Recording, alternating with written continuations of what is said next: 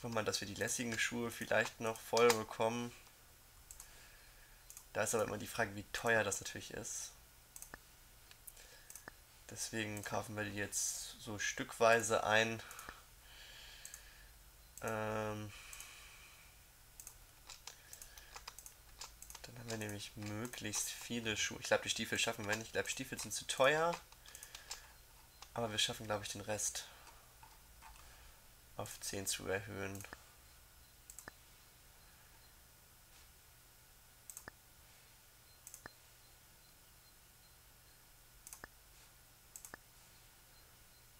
Bei den Heels bin ich mal gespannt, ob das noch reicht.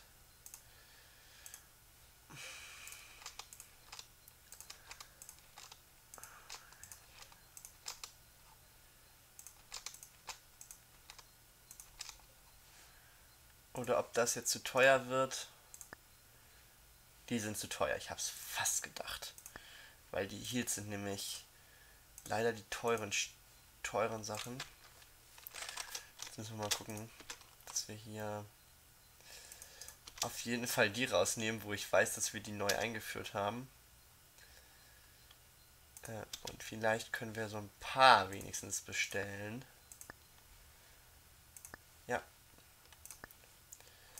Perfekt, dann haben wir das nämlich auch erledigt. So, jetzt machen wir hier rigoros, wie bei den anderen auch. Ähm.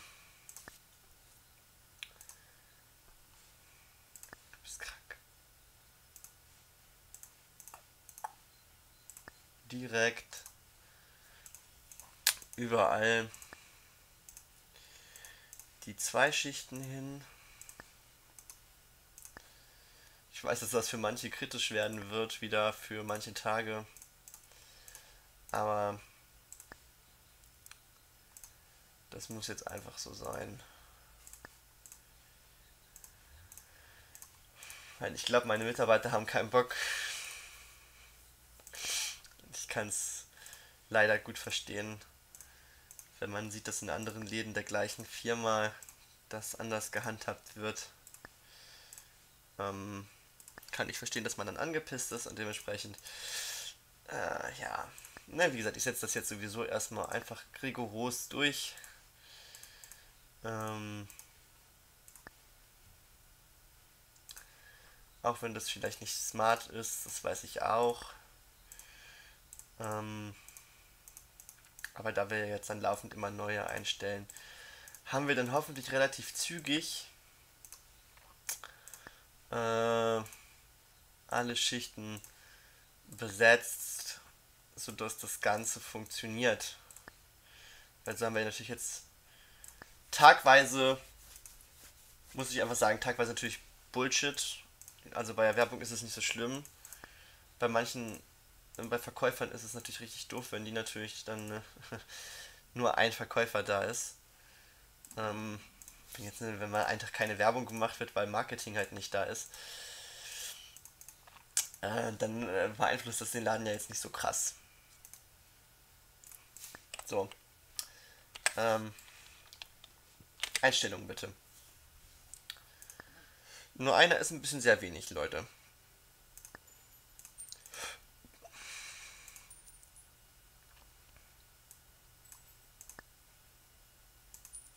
Ich brauche dich.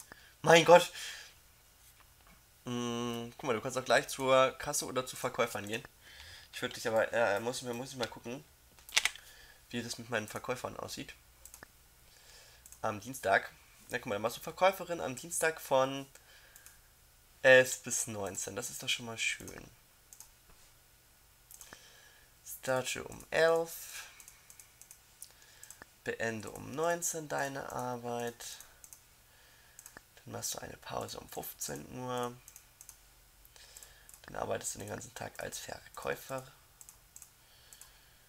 Und du musst am Dienstag da sein.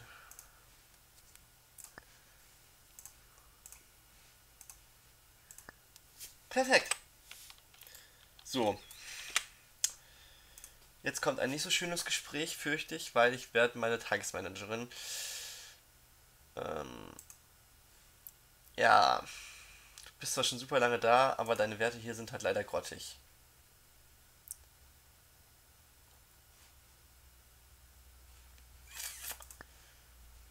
Das kann so nicht weitergehen. Nicht, wenn du so jemanden hast, der sich richtig gut damit auskennt. Äh, Ricardo, du darfst natürlich gerne ähm, guck mal hier, ich schick dich mal zu einer Schulung, das ist doch auch mal schön. Hast du mal ein bisschen was. Ähm, das ändert aber nichts daran, dass du den Laden abgibst an äh, Ricardo. Denn der sollte tendenziell qualifizierter sein.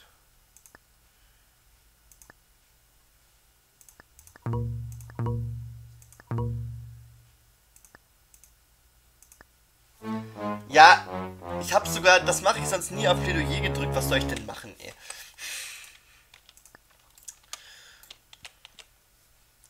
Ricardo, es tut mir leid, aber guck mal deine Qualifikationen an. Wie wär's, wenn du den. Komm, du bist doch auch schon so lange hier.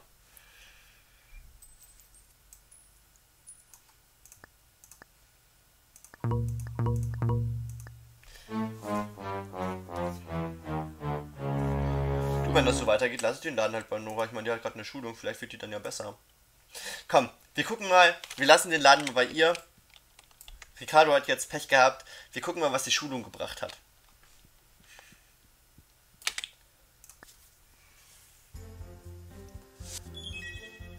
Ja, ich weiß, manchmal ist natürlich geringer Optimismus, weil die natürlich nichts verdienen. Ist halt so.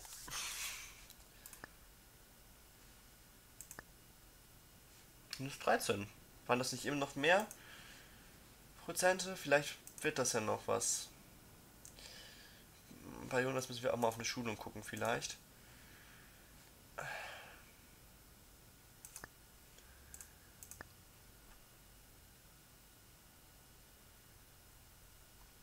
Hm. Ja, komm, ich benutze jetzt die kleinen als Experiment und schicke die dann auf Schulung. Und dann mal gucken. Ähm, wie viel machst du jetzt hier plus? Technikladen? 1800, das ist okay. Das ist richtig gut. Also die Läden laufen ja richtig gut sogar, Tatsache. Das finde ich richtig gut. Ähm,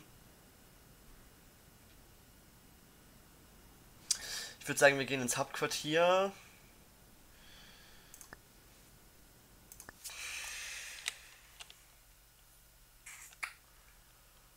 Ähm.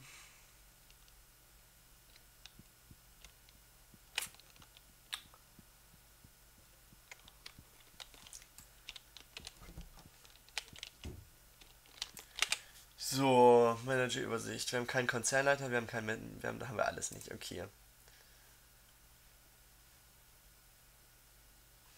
Da haben wir auf jeden Fall 368 pro Tag verdienst du momentan. Okay, da haben wir gar keinen mehr.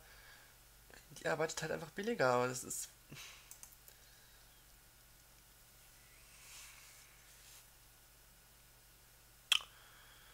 Ja.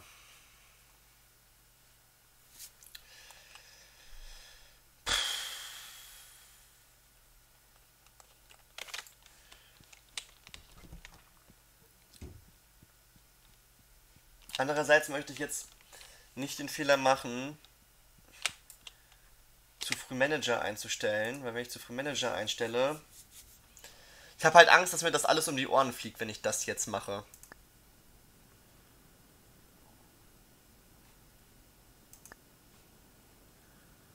So.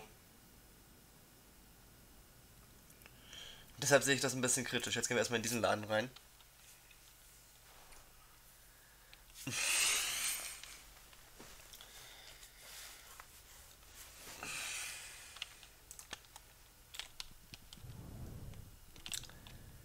Der auch leider sehr, sehr traurig ist, ja.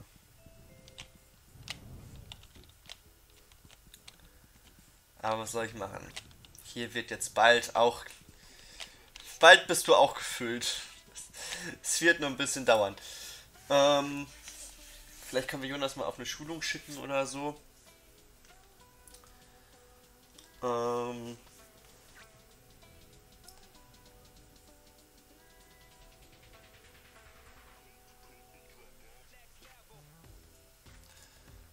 dann müssen wir. Ja, zur Not kündigen halt meine Manager im Hauptquartier. Ich kann es nicht ändern. Ich werde keine neuen einstellen. Ähm, wir werden nämlich gleich prompto den. Wir werden jetzt Sachen machen, die ich selber noch nicht so gut durchdacht habe. Aber wir machen das. Ihr werdet gleich sehen, was ich meine. Ähm.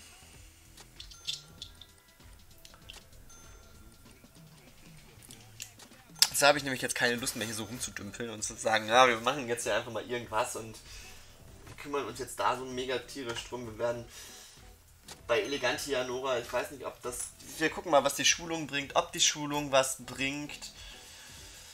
Mhm, weil wenn Schulung was bringt, dann kann sie natürlich den Laden behalten. Ähm, und sonst läuft ja alles Tatsache. Soweit erstmal ganz gut, würde ich behaupten. Klar brauchen wir Mitarbeiter ohne Ende jetzt wieder. Ähm, da muss ich echt noch überlegen, wie ich das mache. Aber irgendwie klappt das schon. Irgendwie.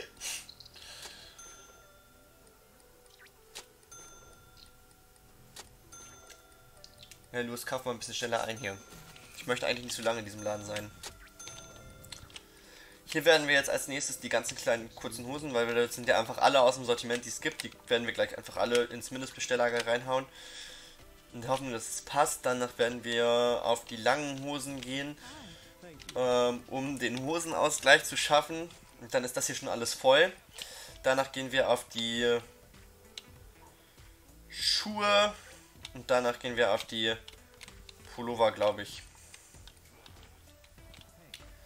Denke, das ist eine richtige Reihenfolge für diesen Laden. Ähm, damit er auch langsam voller wird. Weil natürlich ist der so auch echt traurig, muss man einfach leider so sagen. Ähm, aber was soll ich machen, ne? Damit haben wir auf jeden Fall einen Plan für die nächsten Streams. Und ich glaube, das sind gute Pläne. Denn wir haben, wenn ich das jetzt richtig, wenn, also wenn ich jetzt, wenn mein Plan funktioniert, heute noch, also wenn ich das noch schaffe, was ich heute mir noch so ein bisschen vorgenommen habe, ähm, dann sind wir in dem Stream sogar noch weitergekommen, als ich ursprünglich geplant habe. Was aber nur funktioniert, weil wir das heute so gemacht haben, wie wir es gemacht haben ähm, und uns so ein bisschen um die Tagesmanager gekümmert haben, mal ein bisschen sich uns mit Schulungen beschäftigt haben ähm, und die Läden einfach mal so ein bisschen laufen lassen haben auch. Mm, dann können wir nämlich im nächsten Stream vielleicht sogar uns schon um die Manager kümmern sogar. Ähm, was ich natürlich super, super, super, super begrüßen würde. Ähm, Und wie gesagt, da wir er jetzt sowieso auf das andere Arbeitssystem umsteigen, hoffe ich, dass unsere Mitarbeiter insgesamt zufriedener werden. Ähm, was ich aber, glaube ich, schon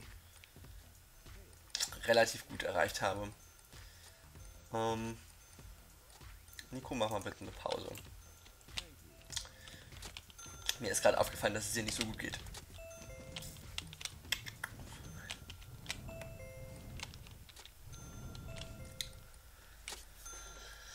Boah, ist das eine, eine Aktion, ey. Wenn man so, so kleine Fehler macht für das Unternehmen, ist das manchmal, das manchmal so krasse Auswirkungen, ne?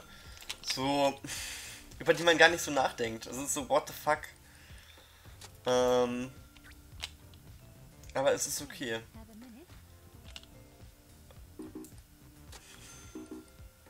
Finn, ich sehe das!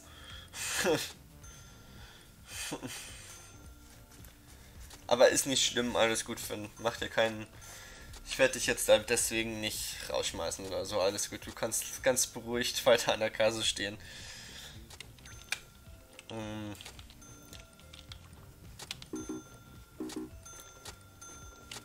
Wir werden dich da hoffentlich an der Position lassen können. 16, zack, hopp, hopp, hopp, hopp, hopp, hopp, schneller arbeiten, 17. Finn! Finn gibt auch Rabatte hier. Finn, ich habe zwar gesagt, ich akzeptiere das, aber das heißt nicht, dass du es einfach ausnutzen musst, ja? Danke. Ich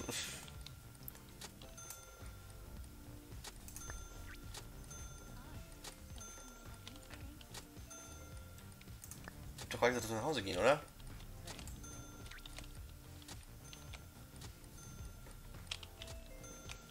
Ja, an sich scheint der Laden aber auch ganz gut zu funktionieren hier. Das freut mich ja sehr. Müssen wir nur gucken, dass wir Jonas vielleicht auch eine Schulung geben.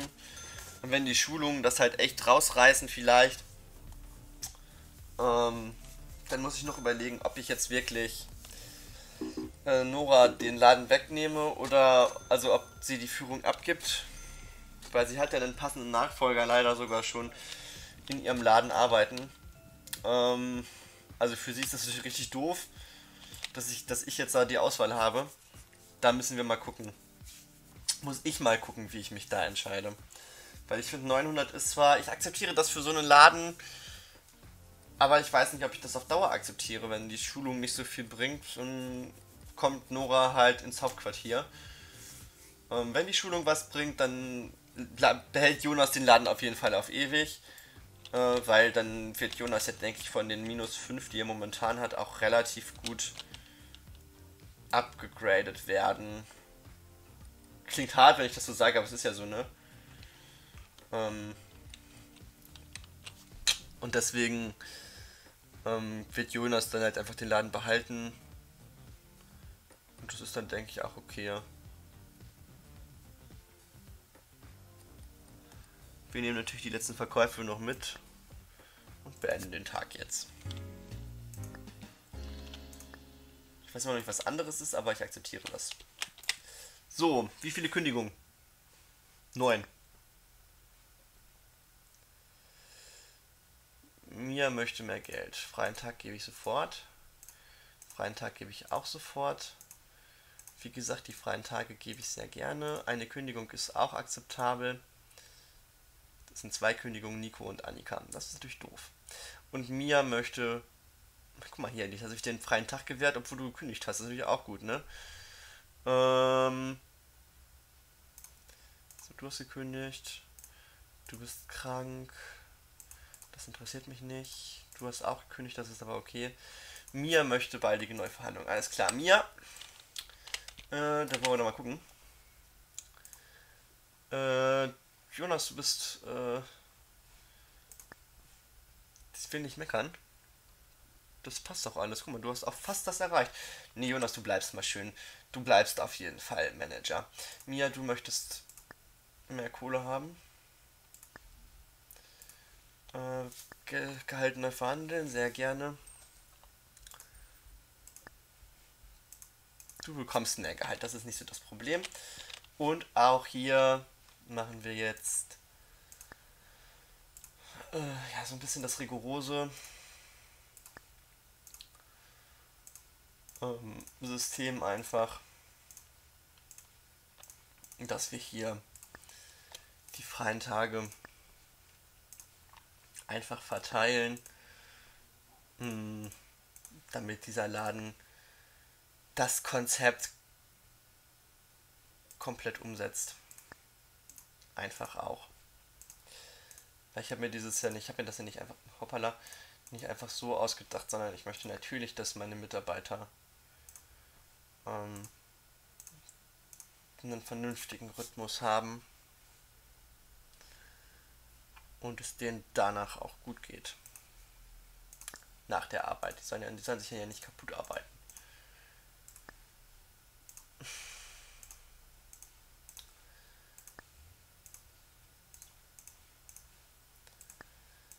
So, leider gebe ich jetzt meiner ganzen Sicherheit, glaube ich, gerade frei. Kann das sein?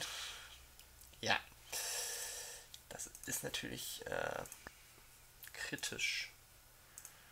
Aber okay. Vielleicht kann ich gleich einen Sicherheitsmensch hier einstellen. Ähm.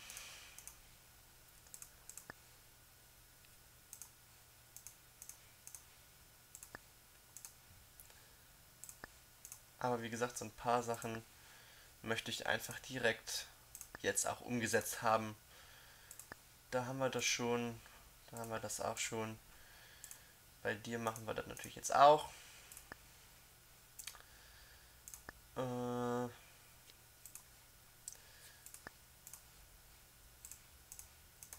bei euch machen wir es sowieso. Vielleicht hätte Nico das gerettet, wenn ich ihn einen Tag eher sozusagen das äh, geändert hätte.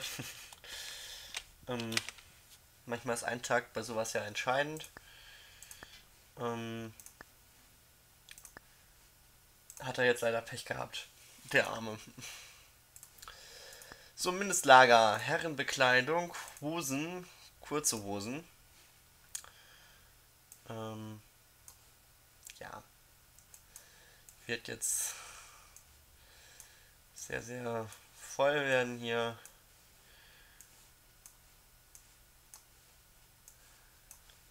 Denn wir nehmen natürlich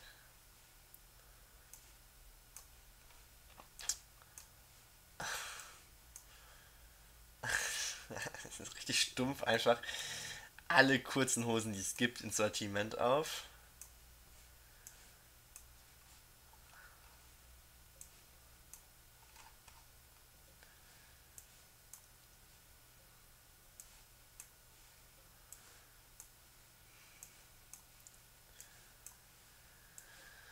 Wie ich einfach jetzt einfach so alles durchgehe hier, obwohl ich das auch schon drin habe teilweise, ne? Aber ich glaube, so ist das Einfachste, wenn ich einfach hier einmal so... Da muss ich nicht darauf achten, was ich schon habe und was nicht.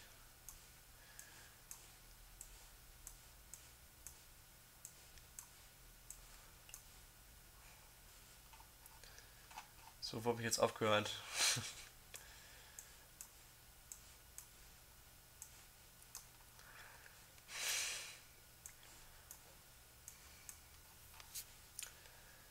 So, Bestellung, Mindestlager, kostet auch nur 315. Ist also nicht so viel. Haben wir gemacht. So, Leute einstellen. Auch nur einer. Also einer ist immer ein bisschen wenig, finde ich, weil... Ähm,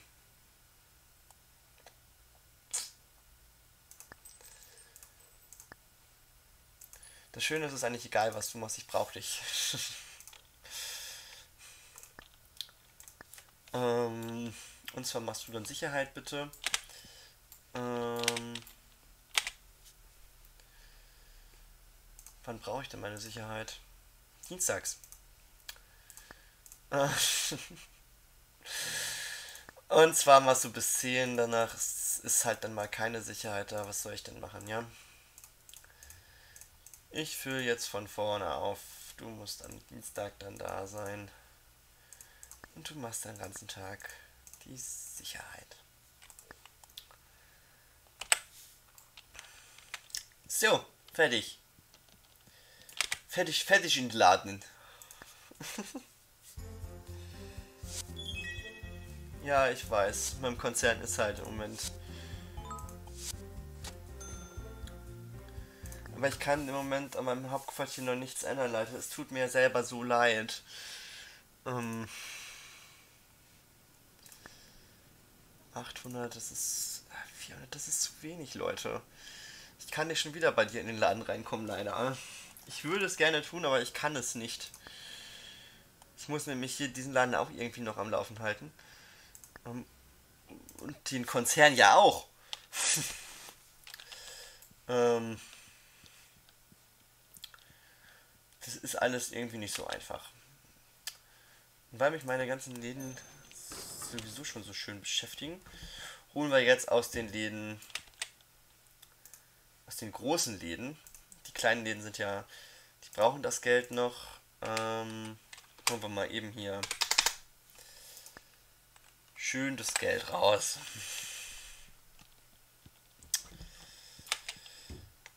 Ja. Der großen Läden, gerade du müsstest eigentlich jetzt massenhaft Kohle haben. Ähm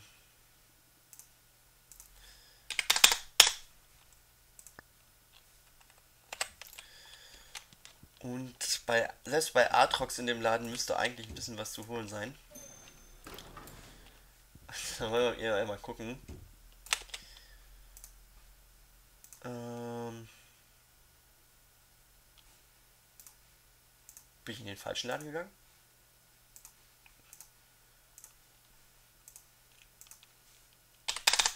Ach nee, du hattest gerade deine Kredite so teuer abbezahlt, ich erinnere mich. Ähm, ja. So. Ich weiß, der, der große Artworks-Laden braucht eigentlich auch noch das Mindestlager, aber das ist jetzt halt Pech für ihn, dass er der große Laden ist.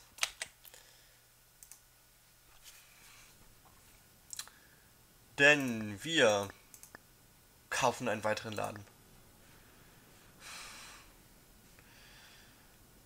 Hm.